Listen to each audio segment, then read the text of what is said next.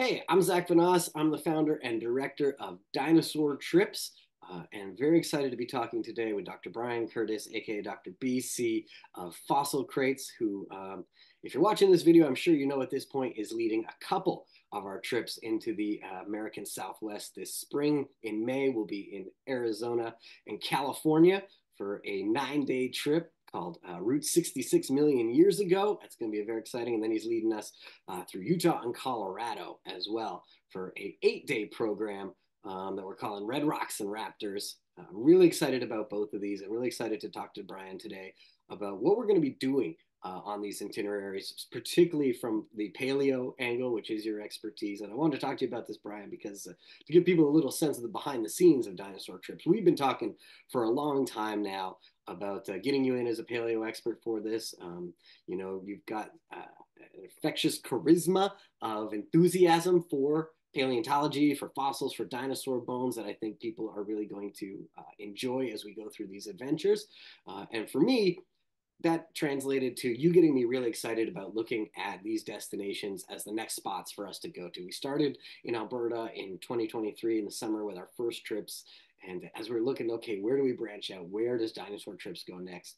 Uh, in conversations with you, it became apparent that look, the, the US Southwest uh, particularly Utah, Colorado, California, and Arizona. That's where we got to go. These are where the museums people want to see are. These are where some of the great discoveries in paleontological history have happened.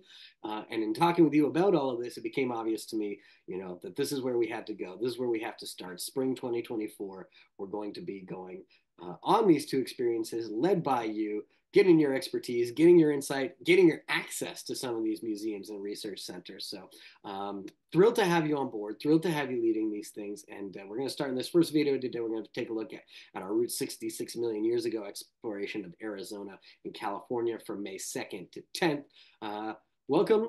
Welcome to Dinosaur Trips as our paleo expert. Um, and yeah, let's uh, let's let's rock through these itineraries and, and and tell people what we're going to find out. Well, first of all, thanks for having me. I am so excited. Uh, this is a trip of my dreams as well. I'm uh, I've, we've selected a number of facilities that we're going to get some special access to.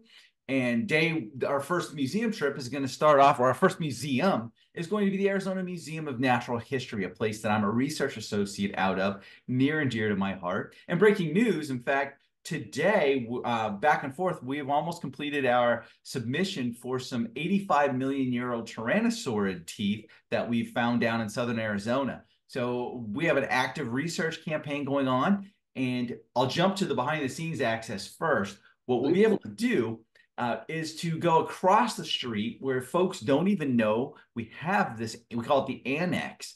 And we'll go inside the collections of the Arizona Museum of Natural History.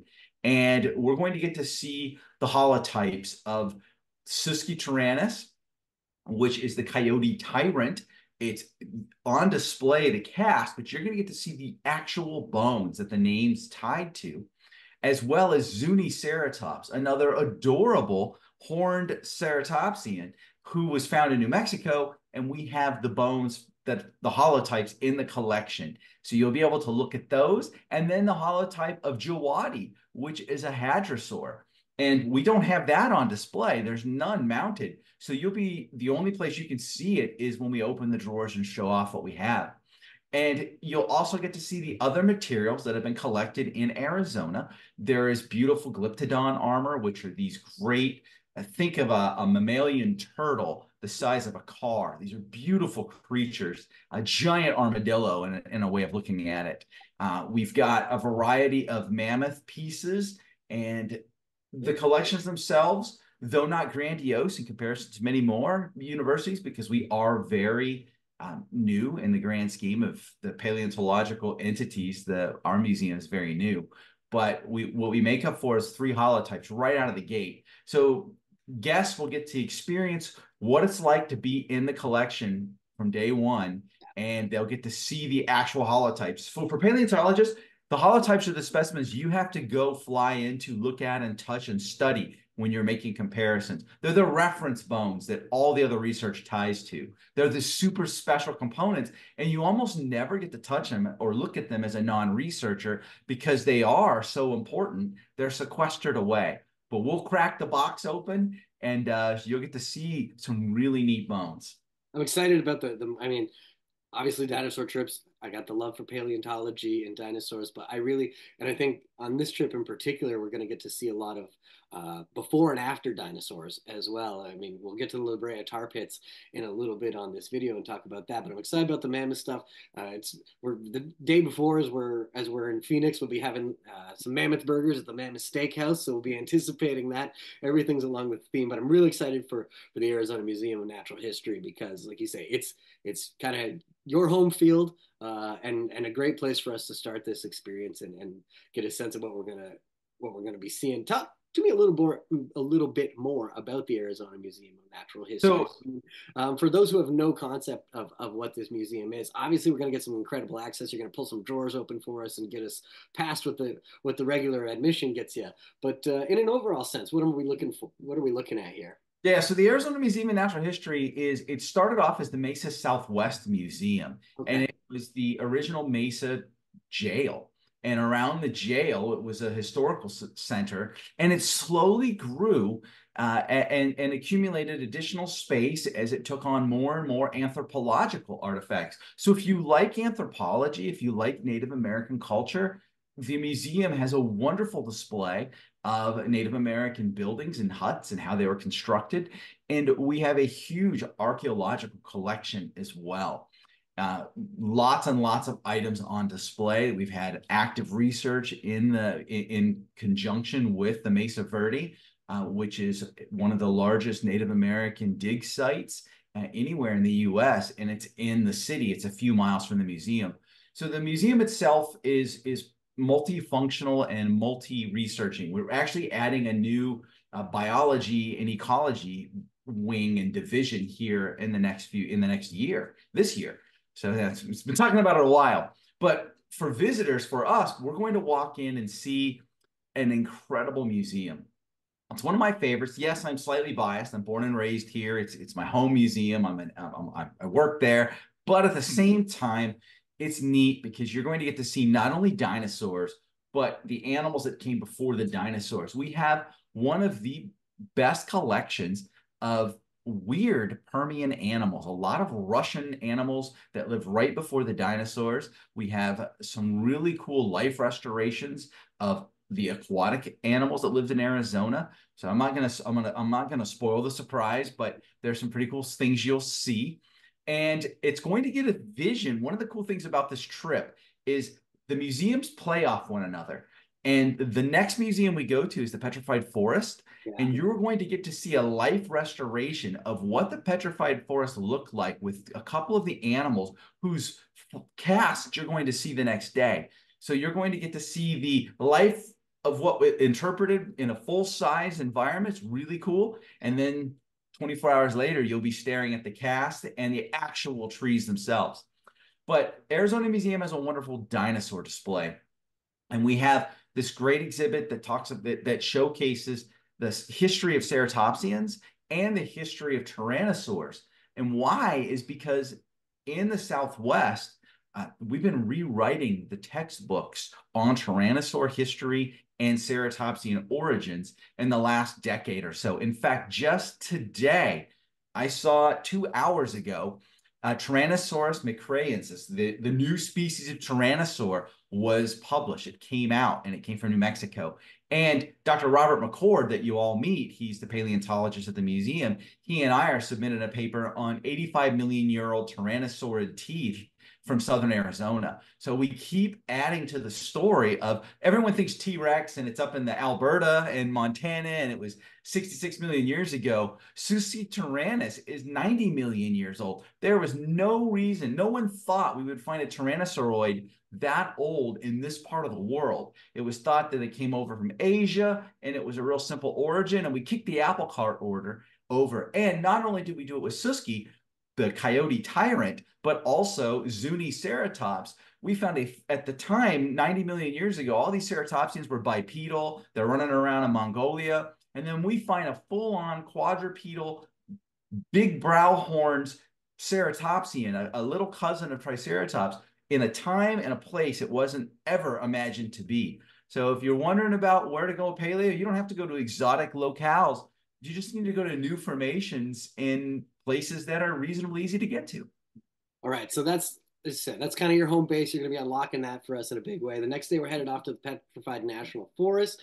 Uh, for day three, we're going to do newspaper rock. We got petroglyphs. So across this trip, it's not all paleontology all the time. You know, in this part of the world, there's so much archaeology to be looking at. We're going to be doing awesome hikes throughout it. Uh, day four, we're headed over to Sunset Crater Volcano and the Grand Canyon. I don't think we need to talk up the Grand Canyon uh, in this conversation. I think people have a pretty good sense of that. But we'll also be uh, visiting the Yavapai, correct my pronunciation on any of these, uh, Geology Museum.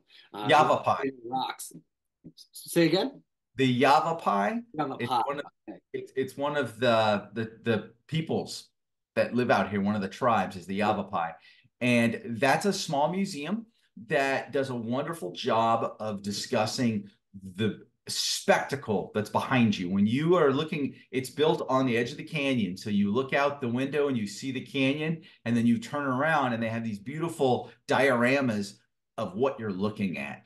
So it it puts it it tries it does as good a job as a person's going to be able to do or an exhibit's going to do of putting one of nature's wonders of the world. And if you haven't seen the Grand Canyon, eh, I just read an article in a magazine called Arizona Highways, and the punchline is since that magazine's been around, since people have found the Grand Canyon, minus the original explorers who were just mad that it wasn't the seven cities of gold, the uh, of, of the the Native Americans love it. There's no words for it. Let me put it another way.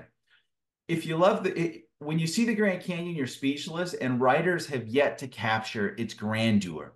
Well, so that was something I struggled with, you know, putting together obviously the materials to promote these trips and give people a sense of what they're doing. And when you're looking through photos, there's literally millions, if not billions, of pictures of the Grand Canyon available. Endless amounts of pictures. Obviously, you go there, you take a picture, you're trying to capture it. None of them are very good. None of their, you know, they can look pretty nice, but they don't none of them get close in any way. I mean, if pictures can't words, maybe maybe the greatest poets could have a chance at it, but it it doesn't seem that way. It seems like it's be there, experience it. Otherwise, you're never going to fully comprehend what this is. 277 miles long, mile deep, and it's four billion years of time represented in, in this gash in the ground. There's no way you can encapsulate its incredulousness except excuse me except as almost a spiritual experience standing there with the wind blowing if you get a, a quiet moment with it and we'll be going through Toroweep as well which is a really cool tower um, there has been tremendous pushback from the earliest days to prevent people from building on the grounds because it wasn't always a national park and people had mining rights and land rights and uh, over time those have all gone away but Toroweep is still there, and it, it, was done in such an anachronistic way that it, it's fun and exciting. You're like, all right, I'll, I'll give you Toroweep. We don't have to tear that one down as they try to go through and and you know bring the canyon back to its pre-invasion glory.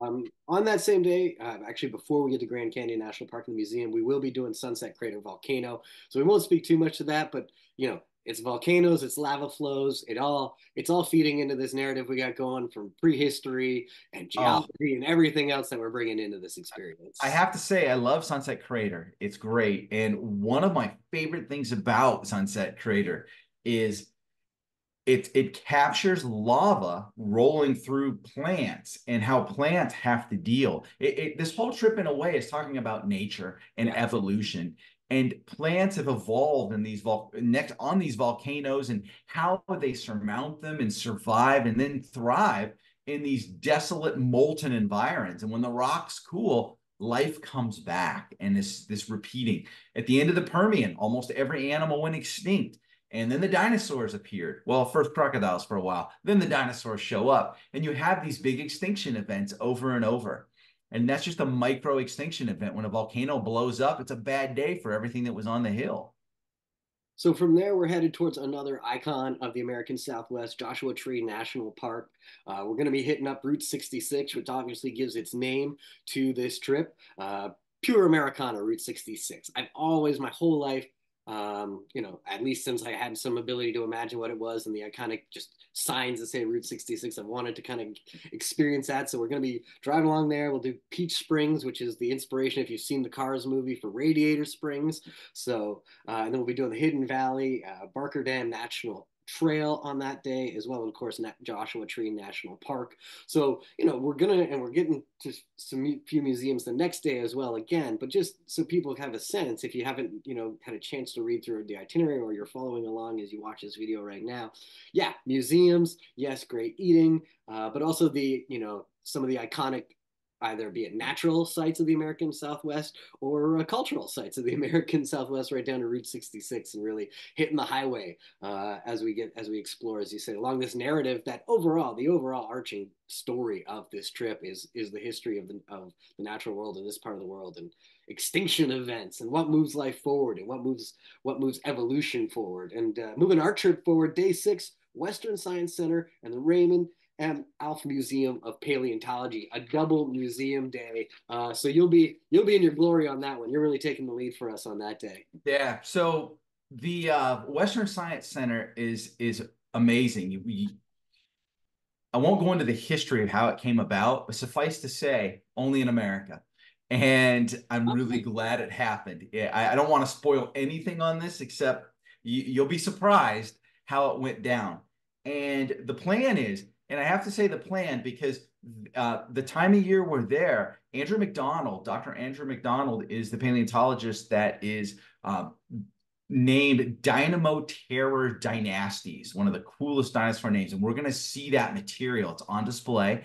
They have one of the most incredible collections of mammoths and mastodons and mammals that you have around and they, and they have a rotating gallery. I'm not sure what we're going to see. And half the building is this beautiful rotation. And what I love about it is you show up and you're like, well, this is cool. And it's always neat. They have evolution of horses. They can tell a phenomenal story of the horse evolution from the fossils they have in their area. And the plan is to go into the collections itself and show off, in my opinion, one of my favorite, just visually impressive, modernized collections anywhere in the United States. The what they have done there is truly cutting edge uh, curation of specimens. And there's the Dynamoterror holotype that you all should be seeing. So we should be able to get in. And yet again, holotypes for paleontologists are magical things and to see this this cousin of Tyrannosaurus. And the name Dynamoterror is paying homage because Tyrannosaurus, some of its early bones were called Dynamosaurus. And so they said, well, I love that name. So then they put terror on the end of it. And it is a terror. It's a really great animal. Right. And we also got um, in there the Raymond M. Alf Museum of Paleontology. So what do we, we expect there? Oh my goodness. So again you're going to be your your senses will be challenged because you're going to enter a high school campus the raymond the alf museum of paleontology is actually on uh, a, a boarding school and it is a circular building which you're going to find is one of the cleverest uses of space we'll meet dr andy farke who is one of the nicest people in the world who's also an expert on ceratopsians and other dinosaurs. He's named a few. He is going to take us into the collections, and you'll be able to see um, and how their dinosaurs, but and non-dinosaur remains are stored. You'll be able to. He'll open up some drawers. He'll show off one of the coolest Triceratops horn spikes that I've seen, and you'll get to probably hold that, pass it around. It's a really cool specimen, and hear about how high schoolers are getting the opportunity to work on dinosaurs. And I've saved the best for last. Joe, the baby Parasaurolophus, or Parasaurolophus if you prefer, the dinosaur with the huge crest coming on the back of its head that everyone knows and loves. Well, they found the first baby. Some a high school student that was on part of the expedition found this, and they worked on describing it. And so it's nicknamed Joe. It's the most complete baby Parasaurolophus. It's told us a tremendous amount about how these dinosaurs grew and how their horns, their, their crests work. And I am so excited to get back there and see that specimen with my own eyes again. The material's laid out so we can get right up on it. Amazing. And then day seven, we're really switching gears. Uh, this is kind of the feels the opposite of the museum experience, the double museum experience that we're having uh, as we're hitting up Universal Studios. so uh, we're the reason there, uh, obviously, to do the Jurassic World ride. Um, I'm excited about that. I didn't, unfortunately. I mean, in my opinion, unfortunately, the Jurassic Park ride isn't there anymore. I'm I'm I'm more uh, into the Jurassic Park of it all, but I think it's going to be a really cool experience. I mean, we're going into California, we're going to Los Angeles. We got to do Universal Studios. I mean, you know, that's part of the fun, I think, of paleontology and dinosaurs is, yeah, I mean, you're bringing the science stuff. You're giving us a chance to really educate ourselves and get up close and, you know, touch uh, some of the most incredible specimens that have ever been found. But and I was talking about this on a podcast the other day that I that I got to be a guest on. Is dinosaurs in particular spark the imagination in ways that have really, um, especially since we invented film and movies, um, we've tried to capture, we've tried to communicate, you know, from those, some of the earliest movies they were doing dinosaurs in, like those early King Kong movies. They wanted to represent dinosaurs. I mean, Godzilla's not a dinosaur, but in the imagination of humans, that they're kind of all in line there. You look at the excitement around Game of Thrones and dragons. People love these the idea of these giant creatures. So Universal Studios gives us a chance to switch gears. I mean, if you're hitting up Los Angeles, yeah, absolutely, I think it's something you have to do. So that day is going to be all about that. Uh, I don't know if you have any special access at Universal Studios to behind the scenes. I've never been to Universal Studios proper. I've been. They have a beautiful uh, a mall area outside of it that I've been to a number of times, but uh, California usually has great weather. The one time I tried to go, it was one of these giant storms rolled in and I didn't get to go. And that's always a risk you run on any trip you take is the wild card of weather and other world events. Yeah. Uh, another time there was an earthquake, we were going to go and it shut LA down. And so he said, yeah, we'll, we'll just stay here in Phoenix where we're safer at the time. But I'm excited to see, and you, you, you mentioned Jurassic Park. I mean, kids love dinosaurs everywhere, but Jurassic Park kicked the door open and, and sparked a renaissance of for paleontology that has no signs of slowing down. If anything, it's accelerating, and it's it's broadened the appeal. And even for those folks that don't become paleontologists, what Universal Studios, Jurassic Park, all of these these visual media do is they get people interested in the STEAM, science, technology, engineering, arts, and mathematics. And we need STEAM. We need STEM researchers. We need scientists. And dinosaurs are they're a gateway into science. They they quietly show taxonomy and how things go together and the and how time stacks. And by the time the person's done with their first dinosaur book, they know so much more about food systems and, and food webs, ecosystems, climate. It's amazing to see what dinosaurs teach without even meaning to. Yeah, that's what I, I found on our first dinosaur trips uh, experiences that we did in 2023 was just how much other stuff comes into it, other sciences, um, really, you know, obviously geology, but everything you're speaking to, it really, it's it's a gateway in many ways, and, a, and an exciting gateway for kids. Obviously, there's something about dinosaurs and paleontology that strike at the imagination um, in ways that I guess perhaps the other sciences don't as well. And you know, it, you won't be limited to Jurassic World the ride um, just because it's a dinosaur trips. You want to check out the Harry Potter world or everything else that they got going on there? Uh, absolutely do. So that's going to be kind of a free day at Universal Studios for everybody uh, to kind of go out and explore the park in any way that they want to. But the next day, we're back at a double museum, double dose of museum, uh, Natural History Museum of Los Angeles County and the La Brea Tar Pits. Uh, this is our final day all together before we leave. And what a way to finish. The La Brea Tar Pits have been something I've wanted to experience since I was a kid as well. Uh, take us through these two museums and what we're going to get a chance to see there. Oh my goodness. Um, the LA County Museum is stupendous. And it's not just about the dinosaurs, of which it has an incredibly amazing hall. It, it is one of the best you're going to see. And when we get there, they may even have their new sauropod mounted. Fingers crossed. I got to see it right the day it was leaving the next day, and they were going to get it all put together, and hopefully it'll be back. Uh, the the museum itself, I'm working on some possible behind the scenes access. I I didn't have it until just you don't even know about this. Just yesterday, Um, my buddy kicked me over uh, and reminded me of someone that I know, and so I'm waiting to see if they would be willing to uh, take us back and at least let folks see what the LA County collections look like. That is ultra hard, rare access. So if I can get that to happen, no promises on this one, but I'm doing what I can because it would be really cool. But even if we don't, the LA County Museum has not just dinosaurs, it has an astounding mammal hall of, of prehistoric mammals. Incredible it, mammals you've never heard of.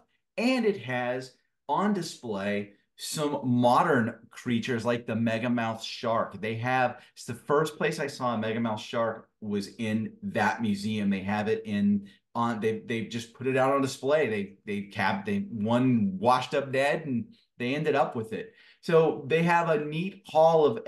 I doubt we'll be able to see it all. Yeah, the, but it is going to wet your whistle, and you're going next time you're in LA, you're going to want to go back and see it. And then to close out with La Brea, La Brea Tar Pits has an oversized impact to to little Brian here. When I was a very small lad, my parents took me to both of those places, and La Brea Tar Pits there's a there's a stick in the tar that is always it would give me nightmares because it shows you how viscous it is and how impossible it would be for you to get out of the tar if you got in it.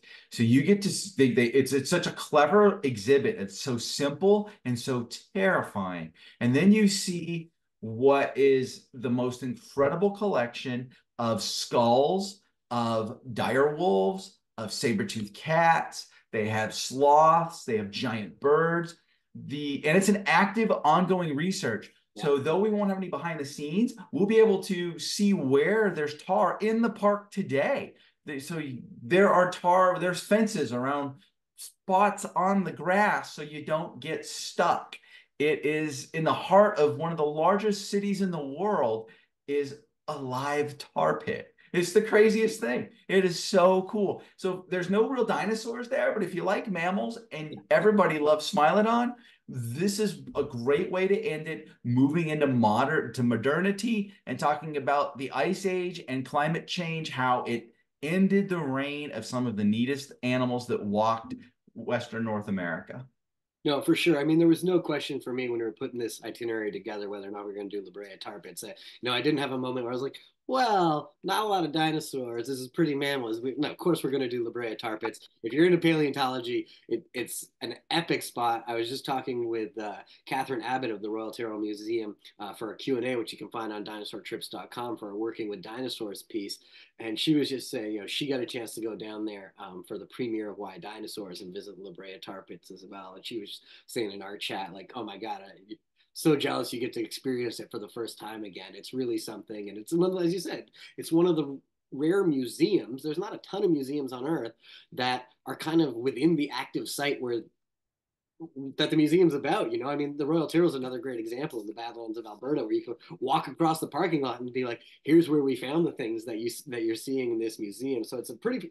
I love that it's we're finishing with it too because it just works with the flow of time. Um, it takes us into that next evolution. We'll we'll follow that up with uh, our final dinner, enjoy some drinks together, toast uh, what is going to be a epic journey before everybody flies home from Los Angeles the next day. Uh, but yeah, this is, I mean, for me, it's got me. I can't believe how excited I keep getting about these trips because obviously we've been working on them for a long time, going over the details, mapping it out, trying to figure out what fits and what doesn't fit with with this exploration. But every time I get on a call with you or, or a video like this and we get a chance to start talking about the museums, I find myself like reinvigorated about this experience and, and just what we're going to be looking at on a day to day basis. We got the hikes, we got the outdoor adventure, and then you know your access at these museums. And and just you know it's really everyone i'm sure who's going on these trips has been to museums before. If they're you know this isn't i'd be very surprised if anyone's taking a dinosaur trip and this is your first time visiting a museum. But it's something about you know you're going through you're reading you're taking your time, but you're going to be with us every step of the way uh, through the museums, helping to put more context to the things that we're seeing when we get back into, you know, when we're when we're hitting the highway, whether it be Route 66 or all the other highways that we're hitting around as we as we go place to place. You'll be with us um, to talk through what we've seen, answer questions. So, you know, there's always opportunity in having you with us along the way to add more to this narrative, better understand what we're seeing, what we're going to see. Um, it's you're a great reference to have, and, and I think it's really going to unlock some of the mysteries of of these museums that we're seeing throughout. So I, I can't wait. I think it's going to be amazing. Well said. I am so excited the fact that we're mixing in um, real world today and we can tie it back to the past. And so the, the whole trip is this wonderful continuity of present and past and getting a sense of what it was like and the exposure. And I'll bring so many different things to the table from uh, just evolution and biology and how we do these things. So we'll make sure to have something for everyone. If there's certain taxa, when you sign up, if you can let uh, Zach know the animals that you really like or the groups of animals, and that way I can be 100% sure to point out the animals as we go across the trip and, and customize it to the individuals that are on the trip, that next level of bespokeness to make sure we cover the topics that they would like to hear about.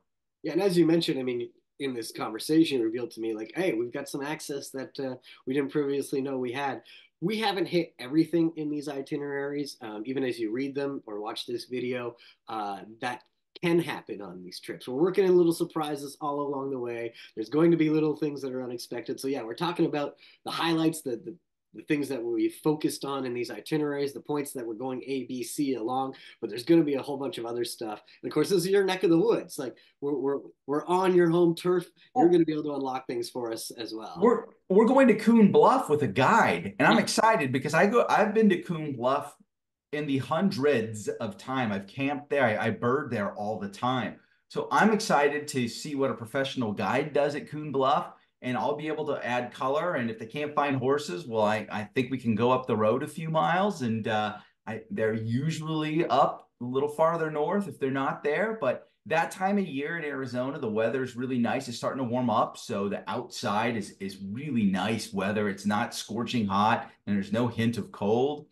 And the, the animals should be out in force. The reptiles, just the, the number of lizards and potential snakes that we'll see uh, don't let that scare you away. I've only seen three snakes in all those hundreds of times at Coon Bluff. Uh, unless you go intentionally looking for them, that's a different story. So this is this trip. Uh, it, it is a if if you like paleontology, if you like the Southwest, if you like the the whole natural history part of the world, uh, I think this would be one of those bucket list trips. I know that when we worked to put it together, I wanted to make it something that I would love to go on and that's what we have. Yeah, that's it. You've been to all of these museums before. You have special access at these museums, but um, you know you're still excited about it. We're really, I think, I think it's going to be a pretty awesome. Uh, I can't wait. The countdown is already on. Uh, next video, we'll be sharing. We'll be talking about that next trip, Red Rocks and Raptors, Utah and Colorado. Uh, really excited about that. So um, you'll be seeing that video out shortly. But we're starting it off Route 66 a million years ago. Uh, it's it's going to be amazing. May 2nd to May 10th. Uh, sign up now before February 1st. Get that early bird special as well. Thanks so much, Brian. Uh, we'll touch base in a second uh, to talk about our Red Rocks and Raptors. Thank you kindly. Adios.